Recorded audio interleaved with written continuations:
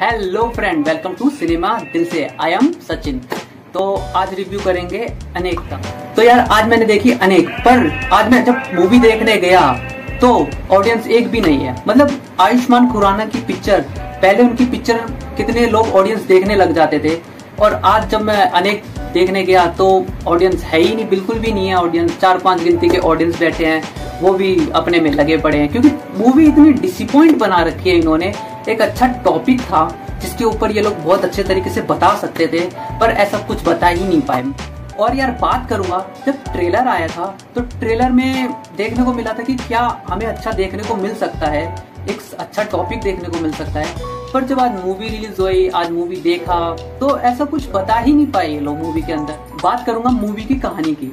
तो एक ये नॉर्थ ईस्ट पे बनाई गई ये मूवी है जो मतलब बहुत सारे मुद्दे को उठाती है कि वहाँ के लोगों को अदर स्टेट में चिंकी कहते हैं या नौकरियाँ वगैरह नहीं देते हैं तो कुछ इस चीज़ों पे बनाई गई है। पर यह मुद्दा तो दिखा ही नहीं बिल्कुल भी। कहानी की बात करूँ तो कहानी के कुछ प्रॉब्लम्स को दिखाना चाहिए था, पर ऐसा कुछ भी नहीं दिखाया। और कहानी इतनी स्लो चलती है यार मूवी इतनी बोरिंग हो जाती है। दोनों दोनों फ़र्स्ट हाफ़ में भी और सेकंड हाफ़ में भी इतनी बोरिंग हो जाती है कि यार मतलब क्यों बनाया ये मूवी किस लिए? एक अच्छा टॉपिक था आपके पास। इतने अच्छा हीरो लिया आपने और बनाया क्या आपने? कुछ भी मूवी के डायलॉग की बात करें तो यार, इतने डायलॉग बाजी इतने डायलॉग बाजी कि मतलब एक पल के लिए बहुत हद सी हो जाती है डायलॉग सुन सुन के कि यार, इतनी डायलॉग बाजी सुनने को मिलती है। जिसमें बहुत, बंदा परेशानी हो जाता है, बोर ही हो जाता है एक तरीके से। उसमें भी गिनती के एक आध डायलॉग ही बहुत अच्छे लगे, जो वो कहता है कि नॉर्थ इंडिया ईस्ट इंडिया या कौन सा, किस तरीके से हम मान ले कि हम इंडियन है। तो ये वाला डायलॉग कुछ ज़्यादा अच्छा लगा। बाकी मूवी की बीजियम वगैरह बहुत अच्छे लगे। हाँ परफॉर्मेंस की बात की जाए तो आयुष्मान खुराना ने बहुत अच्छा काम किया है। उनकी एक्टिंग तो पता ही है, वो जिस रोल को भी पकड़ लेते हैं, वो बहुत अच्छे से ही निभाते हैं। चाहे फिर वो ड्रीम गर्ल ले लो, अंधाधुन ले लो। तो उनका रोल बहुत अच्छा है, उन्होंने अपना रोल बहुत अच्छे से निभाया है। यार, मैं एक्शन की बात करूँगा मूवी के अंदर। जब ट्रेलर देखा था तो हमने एक्शन देखने को मिला था। मूवी के अंदर एक्शन है, पर आयुष्मान को और खुराना को एक बिल्कुल एक्शन सीन दिया ही नहीं है। मतलब एक एंड में जाके एक बंदूक पकड़ के भाग रहे हैं। तो एक एक्शन सीन तो देने चाहिए थे अच्छा खासा। एक्शन सीन कौन कर रहे हैं? जो साइड रोल वाले हैं। वो एक्शन सीन कर रहे हैं।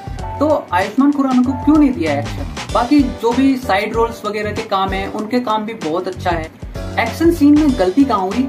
एक लास्ट एक जब क्लाइमेक्स का सीन चल रहा है तो वहाँ पे एक सीन आयुष्मान खुराना का दिखा रहे हैं, और जिसमें वो, क्या कहते हैं, लड़की भी है, जो बॉक्सिंग करती है, एक उसका रोल दिखा रहे हैं। एक उसका दिखा रहे हैं एक्शन का, एक बॉक्सिंग का दिखा रहे हैं। मतलब वो करण, वो दिखाने में समझ में नहीं आया कि उधर भी एक्शन हो रहा है, फिर इधर बॉक्सिंग हो रही है।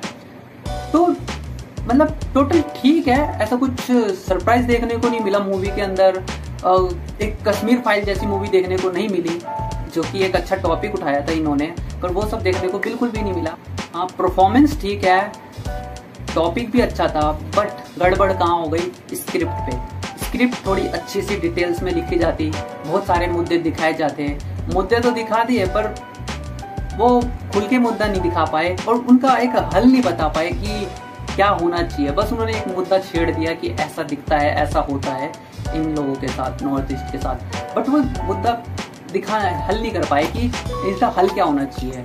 तो यार मूवी ओवरऑल मतलब यार ट्रेलर से जितनी अच्छी लगी थी देखने के बाद उतनी अच्छी नहीं लगी मेरे को। मैं इसको बिल्कुल स्टार नहीं दे सकता, क्योंकि बहुत उम्मीद थी इस मूवी से कि हाँ बहुत अच्छा देखने को मिलेगा, कुछ टॉपिक अच्छी देखने को मिल सकता है।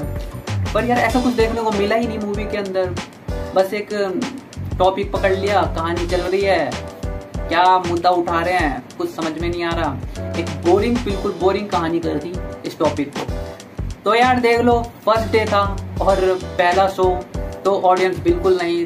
तो यार, अब मूवी ये कितने दिन चलेगी? ऐसा तो कुछ पता नहीं सकता।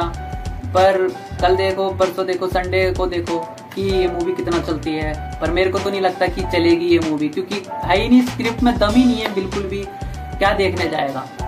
आयुष्मान खुराना की एक्टिंग देखने जाओगे और क्या देख सकते हो मूवी के अंदर? तो मेरे को तो बिल्कुल पसंद नहीं आए ट्रेलर के हिसाब से। जैसा ट्रेलर दिखाया गया था, इतना दमदार ट्रेलर तो उस हिसाब से कुछ खास नहीं है मूवी बाकी अगर आपने देखी हो अनेक मूवी तो मेरे को बताना ज़रूर कि आपको कैसी लगी। मिलते हैं हम फिर अपने नेक्स्ट वीडियो में।